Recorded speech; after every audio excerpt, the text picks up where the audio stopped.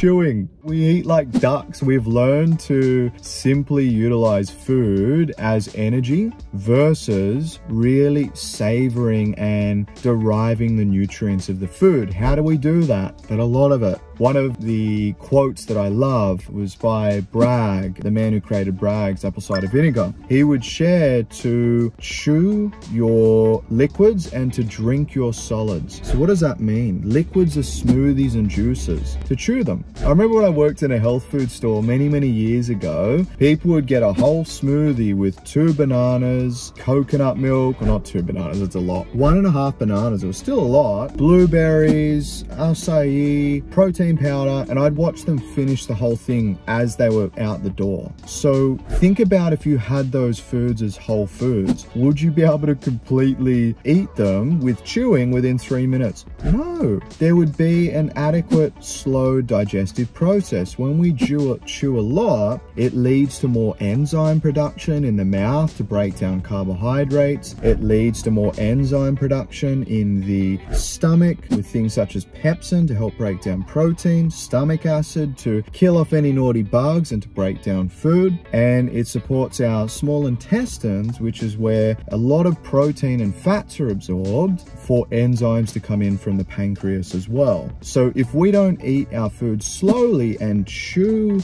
our liquids and drink our solids, that can lead to a lot of bloating, mental you have mental illness. Are you chewing? If we're not chewing effectively it can lead to deficiencies in b12 and iron. You know people go oh i got b12 iron deficiency. Are you chewing enough? Because stomach acid comes from appropriate chewing and for us to best absorb b12 and iron that occurs in the stomach. Now you would have noticed i said drink your solids. That means if you're eating a salad if you're eating a steak if you're eating vegetables that you're chewing them enough enough for them to essentially be able for you to drink at the end.